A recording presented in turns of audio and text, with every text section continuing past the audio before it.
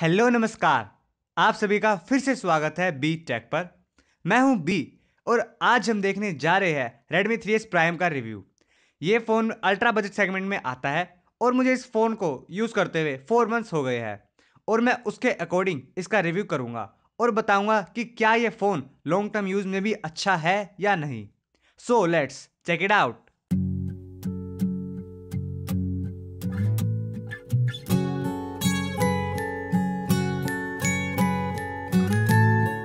तो सबसे पहले इसके डिज़ाइन की बात करते हैं। हमें Redmi 3S में मेटल बॉडी मिलती है और अल्ट्रा बजट सेगमेंट में मेटल बॉडी मिलना इससे औसम बात और क्या हो सकती है। डिज़ाइन कॉम्पैक्ट है क्योंकि इसमें फाइव इंच स्क्रीन है। इसमें सामने की तरफ़ है five megapixel front camera earpiece sensors five inch IPS LCD HD display और थ्री कैपेसिटिव टच बटन्स पीछे की तरफ़ है thirteen megapixel camera with F two point aperture LED flash fingerprint sensor M I logo और speakers ऊपर की तरफ़ है 3.5 point mm audio jack I R blaster और secondary noise cancellation microphone right side पर है वॉल्यूम बटन्स और power button और नीचे की तरफ़ है चार्जिंग पोर्ट और मेन माइक्रोफोन और लेफ़्ट साइड पर है सिम ट्रे जिसमें या तो हम दो सिम्स डाल सकते हैं या फिर एक सिम और एक माइक्रो एस का मीन्स ये हाइब्रिड स्लॉट है.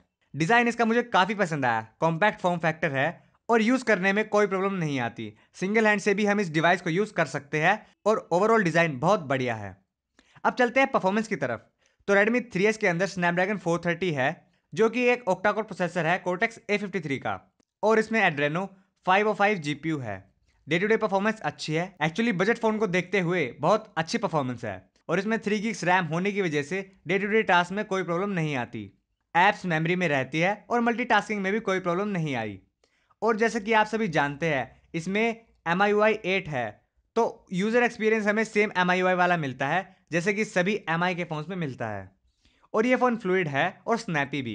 एक्चुअली अल्ट्रा बजट में होने के बाद भी ये फ़ोन एक्सपेक्टेशन से ऊपर परफॉर्म करता है।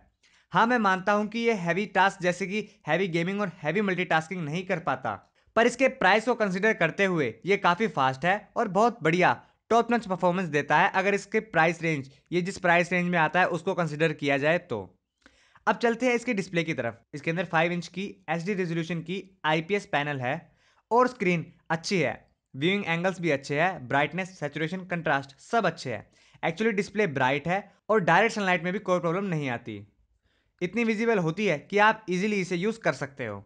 तो डिस्प्ले में भी ये फ़ोन अच्छा है। अब बात करते हैं कैमरा के बारे में। इसका कैमरा एवरेज है और Redmi 2 प्राइम से हल्का सा इम्प्रूव्ड है बस। हाँ फ्रंट कैमरे में Redmi 2 से काफ़ी इम्प्रूवमेंट है but still not a good camera तो ये कैमरा स्मार्टफ़ोन तो नहीं है, पर हाँ इस बजट में ओके कैमरा है, और जिन्हें कैमरे में मीडियोकर क्वालिटी से ऊपर नहीं चाहिए, और सेल्फीज ज़्यादा क्लिक करते हैं और इस बजट में फ़ोन चाहिए तो ये अच्छा रहेगा।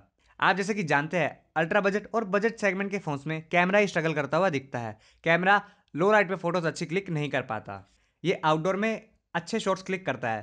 पर लो लाइट में इससे आप शॉर्ट्स क्लिक करना तो भूल ही जाओ। हाँ इंडोर लाइटिंग्स में आप थोड़ी ठीक फ़ोटोज़ क्लिक कर सकते हो। इसकी इमेजेस में शार्पनेस की कमी होती है और सारी पिक्स स्मूथ आती है। एट लास्ट कैमरा इसका एवरेज है या फिर हम बिलो एवरेज कहेंगे तो उसमें भी कोई प्रॉब्लम नहीं होगी।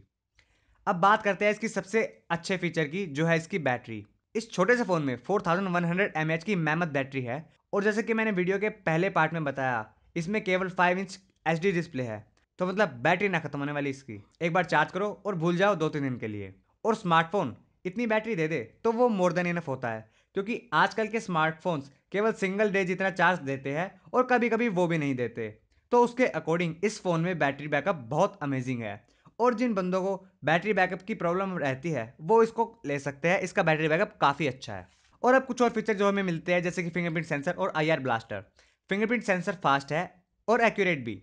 95 परसेंट टाइम वर्क करता है और इसमें जो फिंगरप्रिंट सेंसर है, मेरे according same Redmi note three जैसा वर्क करता है। अगर आपने रेडमी नोट थ्री का फिंगरप्रिंट सेंसर यूज़ किया है तो ये बिल्कुल वैसा ही सेम परफॉर्म करता है। और और आयर ब्लास्टर भी अपना काम बिल्कुल ठीक करता है। आयर ब्लास्टर को बजट फ़ोन में डाल के शाओमी ने चेंज लाया है स्मार्टफ़ोन मार्केट में, क्योंकि हमें जनरली फ्लैगशिप्स में पहले आयर ब्लास्टर देखने को मिलता था, पर अब जैसे कि रेडमी नोट थ्री और रेडमी थ्री एस दोनों में आयर ब्लास्टर आ चुका है और ये मिड रेंजर्स में आ चुका है और अब अल्ट्रा बजट सेगमेंट में एंटर कर रहा है। तो हमने इस वीडियो में Redmi 3S Prime के हर एक्सपेक्ट में बात की और फोर मंथ्स यूज़ करने के बाद भी आज भी इसे मैं रिकमेंड कर सकता हूँ।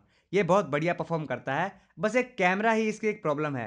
उसके अलावा प्राइस टू परफॉर्मेंस रेशियो बहुत बढ़िया है इसका। और अगर आप ये डिवाइस लेना चाहते हैं या इस डिवाइस को लेने की सोच रहे हैं तो बिना कन्फ्यूज़न के ले सकते हैं। मैं इसे बिल्कुल रिकमेंड कर सकता हूँ। इस प्राइस रेंज में ये बेस्ट डिवाइस है। और आप डिस्क्रिप्शन में दिए हुए लिंक को यूज़ कर सकते हैं और वहाँ से अपने लिए एक Redmi three S prime purchase कर सकते हैं। तो आज की वीडियो के लिए इतना ही। मैं आशा करता हूँ कि आपको ये वीडियो पसंद आई होगी। और अगर आपको ये वीडियो पसंद आई तो इस वीडियो को लाइक ज़रूर करें और अपने सजेशन या अपने सुझाव या अपने क्वेश्चंस को कमेंट सेक्शन में पोस्ट करना ना भूलें। और हाँ अगर अभी तक आपने हमारे चैनल को सब्सक्राइब नहीं किया है तो जल्द कीजिए। मैं आपसे मिलूँगा अगली वीडियो में। तब तक के लिए bye have a nice day